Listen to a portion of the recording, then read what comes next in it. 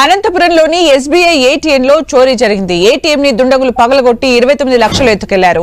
Gas కట్టర్తో ATM డోర్లను దొంగలు తొలగించి డబ్బులు తీసుకెళ్ళారు. బ్యాంక్ అధికారుల ఫిర్యాదు మేరకు పోలీసులు కేసు నమోదు చేసి దర్యాప్తు చేస్తున్నారు. ఏటీఎం ని పోలీసులు పరిశీలించారు. సీసీ కెమెరాల ఆధారంగా నిందితుల కోసం గాలింపు చర్యలు చేపట్టారు.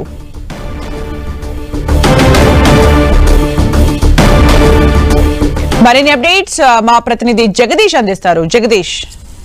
సుమిత్ర అనంతపురం పట్టణంలోని రామ్నగర్ మెయిన్ రోడ్లో ఉన్న ఎస్బీఐ ఏటీఎం లో అర్ధరాత్రి రెండు గంటల నలభై నిమిషాల సమయంలో చోరీ జరిగినట్టు కూడా పోలీసులు గుర్తించారు. కానీ ఆ దొంగలు కూడా దొంగలు అక్కడికి వచ్చిన దొంగలు రెండు గంటల నలభై నిమిషాల తొందరలో ఏటీఎం షటర్ను గ్యాస్ కట్టర్ తొలగించి ఆ మిషన్ కూడా తొలగించి అక్కడ ఉన్న మిషన్లో ఉన్న దాదాపు ముప్పై లక్షల రూపాయల నగదును దోచుకెళ్ళారు.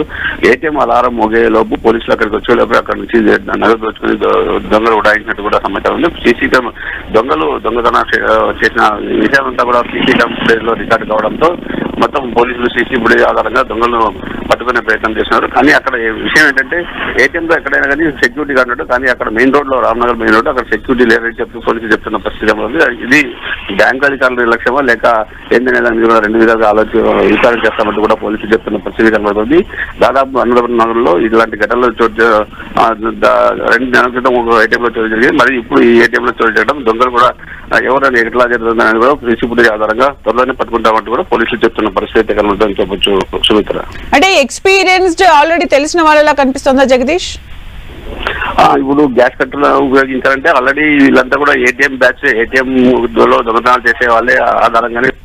అక్కడ సెక్యూరిటీ లేదు కూడా ముందుగానే గమనించి రెక్కి నిర్వహించినట్టు కూడా చెప్పచ్చు. ఎందుకంటే సెక్యూరిటీ లేరని ముందుగా గమనించిన దొంగలు అర్ధరాత్రి సమయం అయితే ఎవరు ఉండో ఆ టైంలో ఎవరు లేని చోట్ల అక్కడికి ముందుగా గ్యాస్ కట్ట కూడా అన్ని ముందస్తుగానే ఒక వెగ్గిలో తీసుకొచ్చి గ్యాస్ కట్ట తీసుకొచ్చి మిషన్ తొలగించి అసలు అందులో నగదు దోచుకున్నట్టు కూడా సమాచారం సీసీలో పూర్తిగా రికార్డ్ అయిందని కూడా పోలీసులు చెప్తున్న పరిస్థితి.